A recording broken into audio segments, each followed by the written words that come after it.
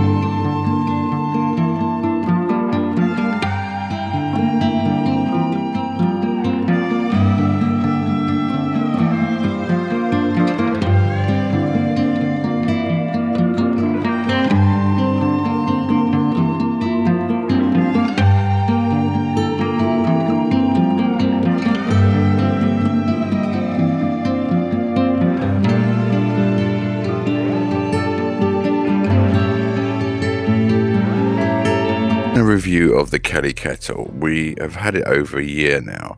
I haven't been able to use it as much as I'd like through ill health, but my son and two daughters and my wife have used it a lot and they absolutely love it.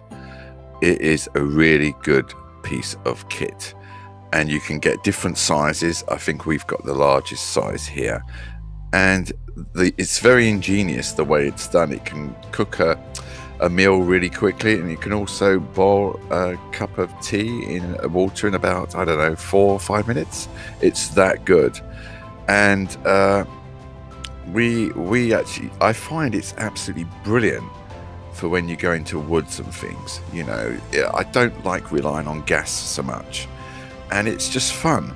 You know you can get twigs acorns pine cones you name it you can throw it in the top.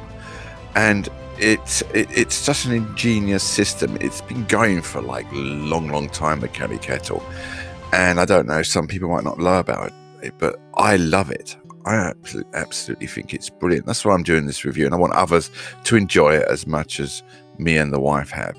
You know, uh, hopefully once I get better, I'll be able to uh, use it a lot more. But my children and my wife absolutely swear by it. You know, if you're in a woods please get one because you know you can you can cook make cups of tea everything with it. It's a really good piece of kit. Now as you can see here my wife's fighting this log for the last i don't know. And but we absolutely love the uh, kelly kettle and we rate it 10 out of 10 highly recommend it. And uh, my wife's cooking uh, corned beef hash on it uh, Bubble and Squeak, it will be the next one. But yeah, she absolutely loves it and highly recommends it too. So if you if you're going in any woods or anywhere, or you can do what my wife's done here. She's just took loads of woods in a bag, and she's just done it on the beach, you know, and it is really good. Highly recommend it. Stay safe and thank you everybody for the kind comments about me. Uh, I'm slowly getting on the mend, so I do appreciate it.